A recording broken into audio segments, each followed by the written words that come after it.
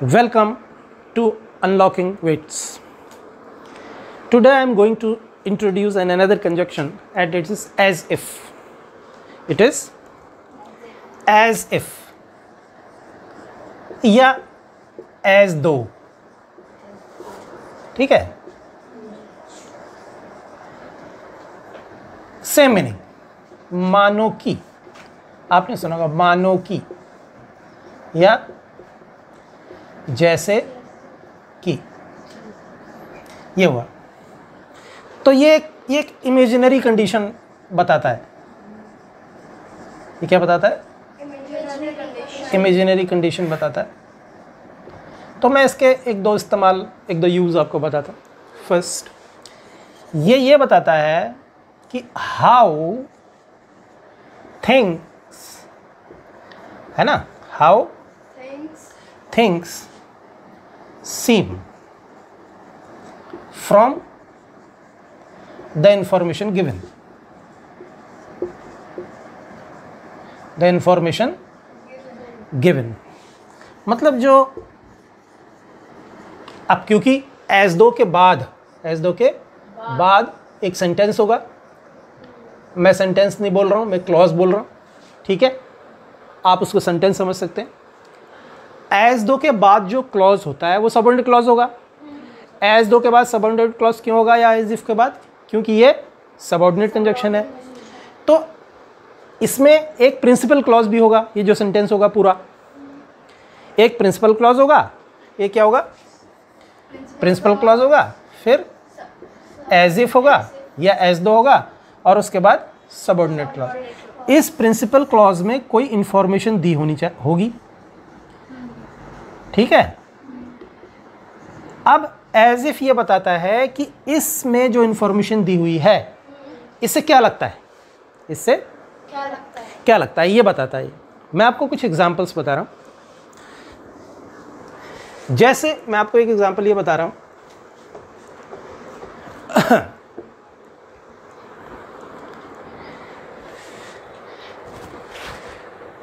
Economy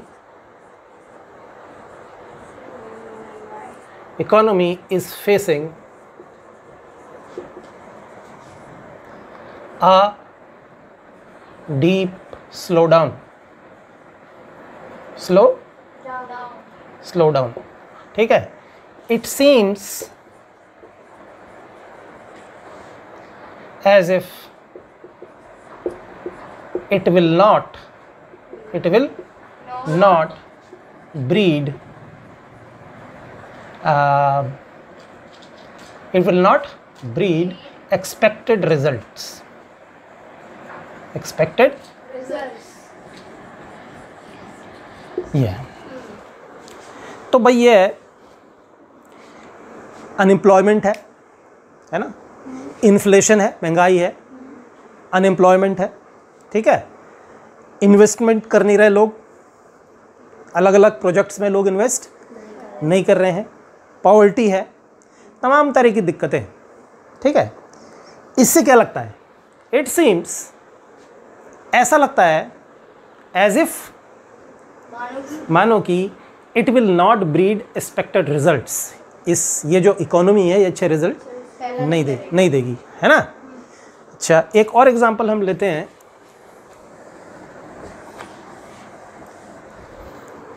there is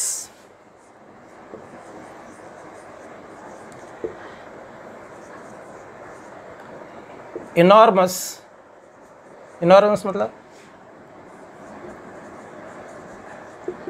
है? हाँ। Between बहुत ज़्यादा। इनॉर्मस बहुत ज़्यादा। There is enormous tension between these two countries these countries two countries countries में क्या गलती है देखना है। Countries it sounds it sounds as if they are in a state of war in a state of war तो हमने देखा, हमें एक इन्फॉर्मेशन है है ना? हमारे पास एक इन्फॉर्मेशन है। क्या इन्फॉर्मेशन है? कि there is enormous tension between two countries India China India Pakistan ये जो भी कंट्रीज़ हैं।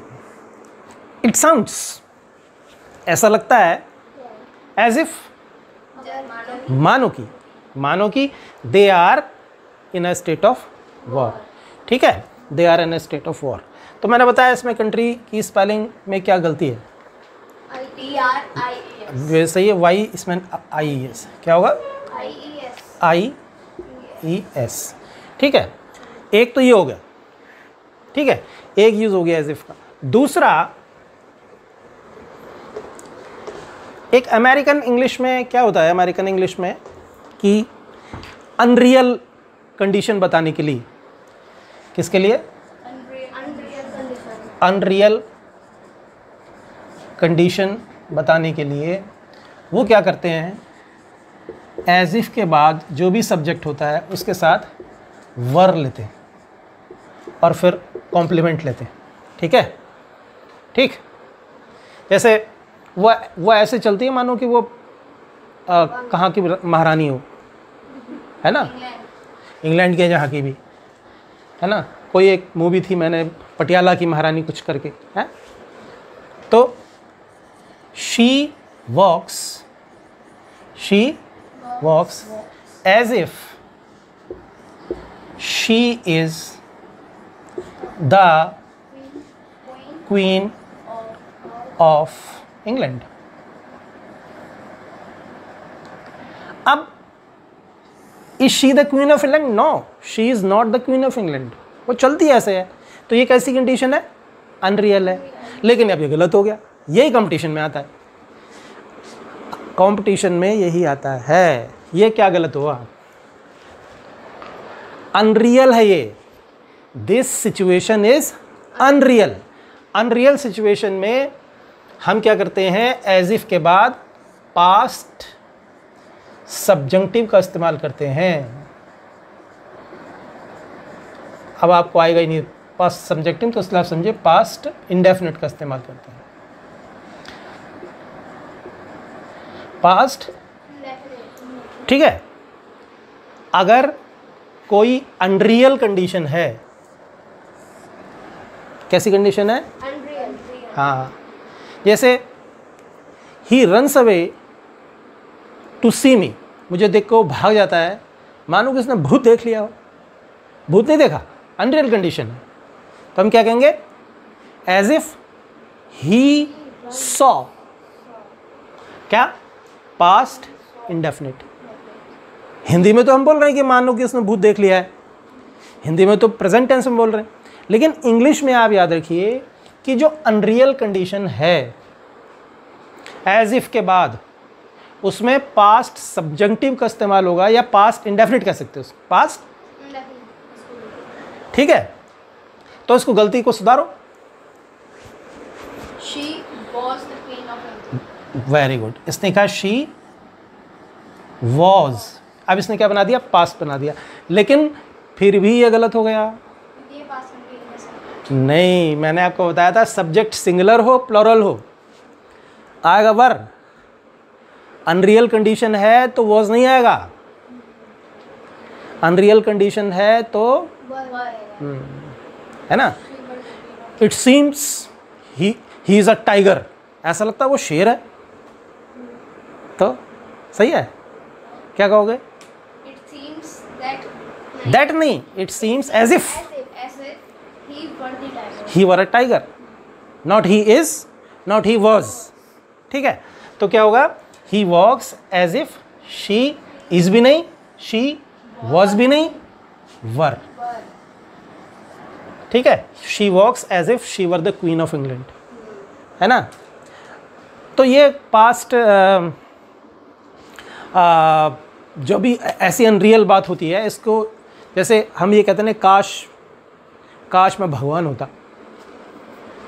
होता क्या? तो क्या कहेंगे? ओ आई वर अ गॉड आई वॉज़ नहीं आई एम नहीं। ठीक है? ये ये अनरियल जो कंडीशंस होती हैं, उनके लिए होता है ये। समझ गए ये बात? ठीक है। अब ये आ गई बात। अब आप कहेंगे, एक एक छोटा सा इस्तेमाल और मैं बताना चाहता हूँ। एक बहुत प्रचलित फ्रेज है एजिफ के बाद। एजिफ सब्जेक्ट केयर। केयर, है ना? एक सेंटेंस में लिख रहा हूँ। आप देखिए। Teachers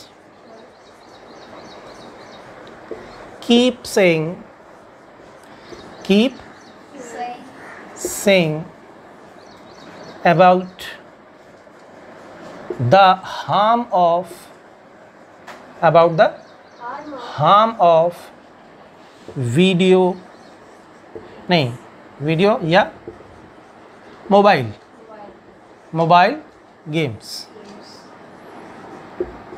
As if we care क्या मतलब है?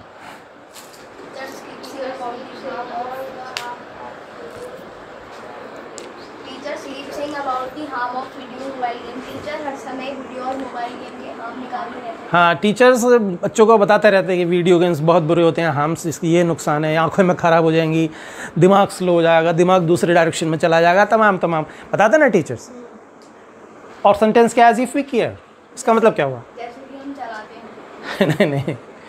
इसका मतलब होता है, ये तो लिखा तो ये गया है, लेकिन मीनिंग ये नहीं है। मीनिंग क्या है? सब्जेक्ट डोंट केयर या डोंट या डजेंट जो भी आता हो।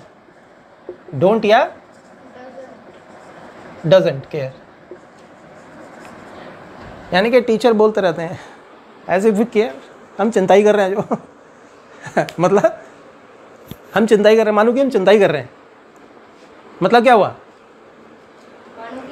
चिंता ही कर रहे हैं। कर रहे हैं। मतलब नहीं कर रहे हैं। चिंता नहीं कर नहीं कर रहे हैं। Doctors keep saying about the the injurious effect of smoking as a people care जैसे कि जैसे वो केयर ही कर रहे हैं। यानी कि पीपल डू नॉट केयर है ना? ये बताना था मुझे। Thank you